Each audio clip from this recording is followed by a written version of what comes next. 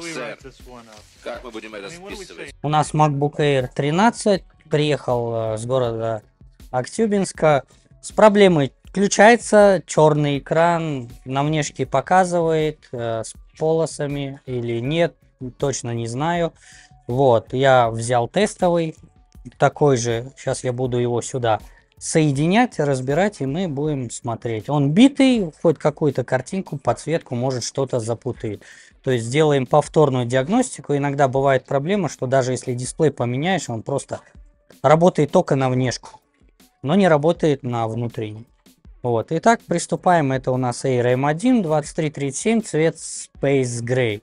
Приступаем к разбору. Что здесь произошло? Что написать в отчете? Ничего, здесь ничего не произошло. То есть я нажимаю его а, он и так включенный. Подсветка клавиатуры, видите, горит. То есть он включенный, но изображения нет, экран черный. Так что будем разбирать сейчас, смотреть, подкидывать другой тестовый битый дисплей, ну, проверять. У меня их несколько, я вот только не знаю, это показывает, не показывает. Они пропали без вести. Мы их не нашли. Нет, ну как это пропали без вести? Ты что? Нам понадобится отвертка пенталоп 1,2 мм. В принципе, необходимые отвертки есть в наборе э, Xiaomi э, Viha 24 Pix. Выкручиваем винты нижней крышки и отстегиваем шлейф батареи. Это первое, что нужно будет сделать при разборе. У него черный экран, поэтому надо будет выяснить проблему в самом дисплее, либо на материнской плате. Чаще всего проблема с самим дисплеем, но был и один случай в одном сервисе, где у них и дисплей поменяли, и подкидывали несколько дисплеев, то есть нет картинки, нет изображения, но работает со внешнего дисплея. И теперь этот MacBook просто продают для людей, э, кто хочет работать со внешним дисплеем. Ну, то есть как PC. Все, вот он шлейф батареи, его мы отстегиваем. А внутри мы уже работаем отверткой Т5.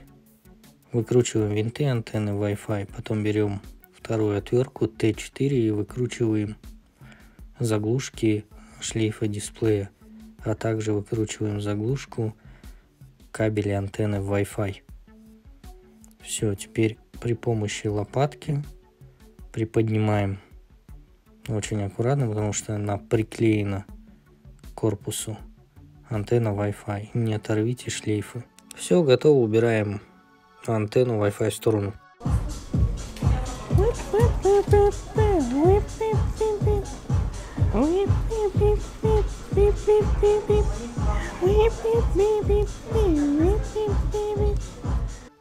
Затем перемещаемся на край стола, дисплеем вниз, опускаем, придерживаем его для того, чтобы извлечь. Все, убираем. Теперь берем тестовый дисплей и тут же на два винта его прикручиваем в таком же положении для проверки. Все, можно будет сильно не фиксировать, потому что это временно. Закрываем и идем обратно на бар. На баре сейчас мы подключим, пока ничего не будем закручивать в таком положении. Все, защелкиваем шлейф батареи. Вот, готово. И теперь переворачиваем его, подключаем питание и смотрим, ожидаем картинку. Вот я не помню, показывает он или нет. Сейчас мы все это увидим. Оп, звук включения был, гонг был, ждем картинку. Все, яблоко появилось, да, дисплей этот тестовый битый работает. Отлично. То есть у нас проблема в матрице. Вот видите, здесь полоска. Стук. Он был снят и остался у меня после замены.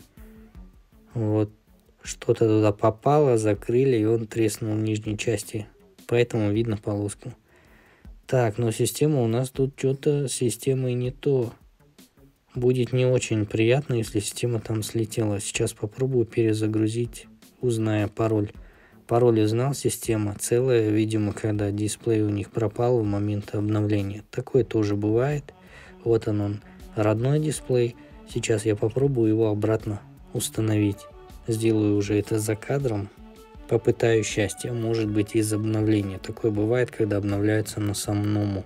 Данная проблема с обновлением на Саному была в основном замечена на макбуках с щелками, там M1, M2. M3 еще не приносили, но насчет M3 писали, что бывает, что у них не работает Mac порты зарядки уже из коробки новые. Так, он загрузился и пока вроде работает. Теперь нужно будет его потестить, ну то есть подвигать нужно будет узнать причину, есть ли обрыв шлейфа или же проблема ПО, ну то есть при обновлении, хотя система сейчас на месте. Именно поэтому сейчас я буду его собирать как положено обратно в корпус и дальше будем тестировать, смотреть, что будет дальше. Так, все, выключаем, обесточиваем, переворачиваем, отстегиваем шлейф батареи и уже докручиваем все остальное. Закручиваем, затягиваем все винты и полностью собираем его. С одной стороны на маке есть небольшие вмятины, то есть он ударник, его роняли. Это могло также стать причиной того, что картинка потерялась. Пропала. Все, зачищаем все шлейфы, возвращаем обратно антенну Wi-Fi, прикручиваем ее, все застегиваем – только в самом конце застегиваем шлейф батареи, когда уже вся работа внутри выполнена. Обязательно не забудьте поделиться данным видео. Оно может оказаться очень полезным людям, которые самостоятельно хотят выяснить, найти причину и решить свою проблему. Именно для вас, а точнее для себя, я создаю эти полезные ролики. Пишите в комментариях, что думаете. А также делайте репосты. Все, закрываем крышку, закручиваем винты нижней крышки. И будем сейчас радоваться, что у нас как бы все починилось и все работает. Хотелось бы, но есть одно но. Подключаем питание и получаем снова черный экран. Ничего не показывает. Звук включения есть, подсветка клавиатуры также работает. Вот, видите? Вот, а картинки по-прежнему нет. То есть, когда я все собрал, все закрутил, картинка пропала. Опять разбираем снова. Теперь мы будем искать положение, в каком положении у нас будет появляться картинка. Освобождаем шлейфы дисплея и теперь ищем положение, в котором будет показываться изображение. Так, пока что нет. Сейчас я протру дисплей, а то он весь заляпанный. Так, ищем, нажимаем, трогаем туда-сюда, обратно, шлейфа дисплея. Скорее всего, есть надрыв, либо обрыв шлейфов. Я прям так чувствую в любом случае это не очень хорошо, потому что грозит э, замене дисплея, что не очень-то и выгодно владельцу. Тем более Mac привезли с другого города. Так, смотрим, картинки нету. Так, снова я сейчас все ослаблю. Отстегиваю шлейф батареи и снова нашел положение, в котором изображение появилось. Вот видите, я сейчас трогаю, и изображение мигает. Вот. Видите? У него надрыв шлейфа. То есть эта матрица дисплей проработает недолго. Видите, да, как мигает?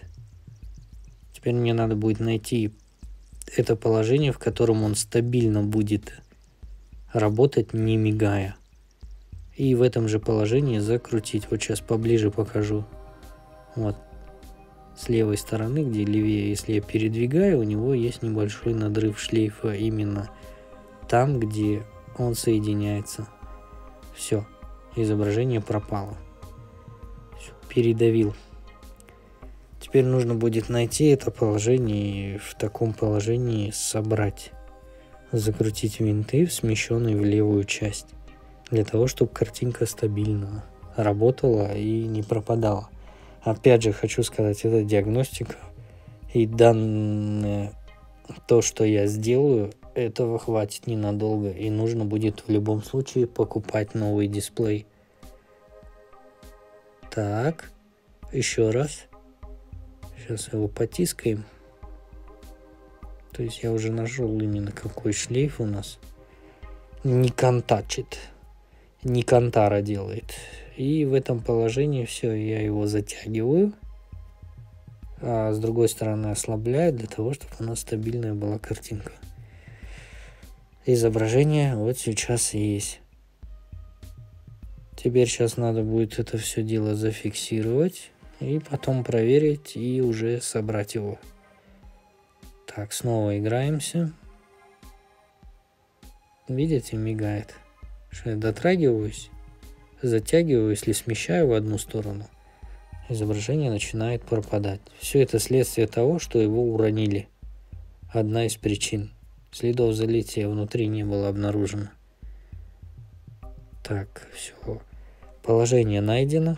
Теперь в этом положении нужно будет все это дело прикрутить. Готово. И теперь нужно будет собрать его полностью. Почти все готово. Закрываем нижнюю крышку. Шлейф батареи мы подстегнули. Теперь скрещиваем пальцы, молимся всем богам и закручиваем э, винты нижней крышки. Данной модели MacBook Air M1 самый лучший вариант даже в 2024 году для покупки на вторичном рынке. Там нет кулера, он так сильно не греется. Там не так часто нужно будет менять термопасту, но все-таки ее менять нужно. И в целом это хороший вариант для покупки на вторичном рынке, потому что они не такие дорогие, Производительность хорошая, поэтому рекомендую брать максималки, если хотите долго использовать. Запчасти все есть, да, дисплеи на них дорогие, сразу скажу. Ценник приличный, есть э, три типа дисплея, которые можно установить. Это оригинальный через авторизацию, что очень долго и по цене самого мака выйдет примерно так, как он целиком на вторичке стоит. Второй вариант это дубликаты дешевые, где замыленное изображение, не такая уж цветопередача, тритон не работает и яркость не выходит на максимально. И третий вариант это оригинальный снятый дисплей с другого MacBook, где все как бы будет работать вплоть до тритона. Или тритона я называю тритоном. Ну а потом их будут продавать уже на Авито, OLX, на популярных э, платформах. Так, теперь поиграем его. Откроем, закроем, откроем, закроем. В принципе, диагностика уже как бы завершена. Здесь уже все понятно. Надо будет в будущем менять дисплей. На какое-то время этого хватит. Но, опять же, это ненадежно. Поэтому, скорее всего, я бы посоветовал уже собирать денежки владельцу на покупку дисплея. Желательно оригинального, снятого с другого в отличном состоянии. Есть еще вариант замены самой матрицы, но там тоже иногда бывают небольшие косяки. Это нужно делать в комнате, где не будет пыль и есть шанс того, что какие-то пятна могут остаться, если это сделать неправильно. Ну, в общем, лучше всего, конечно, в сборе взять снятое из другого в идеальном состоянии. Вот. А так, отличный Mac для покупки на вторичном рынке. Поделитесь этим полезным видео